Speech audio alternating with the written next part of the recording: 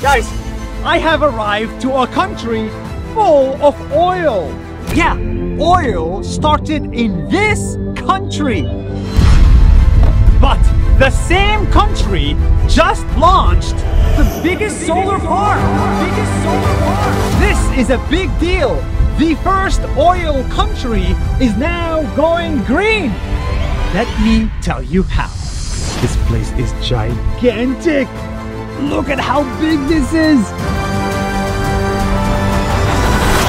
Well, welcome to Azerbaijan! a country you don't know much about, but you should. Azerbaijan is between Europe and Asia with a very rich culture and history. You can literally see it written on the walls. Check these paintings. They're more than 14,000 years old. Azerbaijan is also rich with lots of natural gas coming out of the ground and lots of oil too. Oh, it's so hot. And it's burning 24 7, 365. But here's the thing Azerbaijan knows that this energy will not last forever. You know what lasts forever? The sun and the wind. That's why Azerbaijan teamed up with Masdar from the UAE Hello! to build this Garadagh Solar Park. This is as big as 700 football fields. Oh my god, look at this. It's a sea of solar panels, half a million of them. It's as far as the eye can see.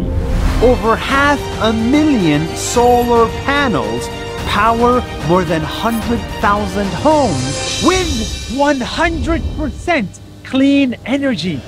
It will support to reduce 200,000 tons of emission per year.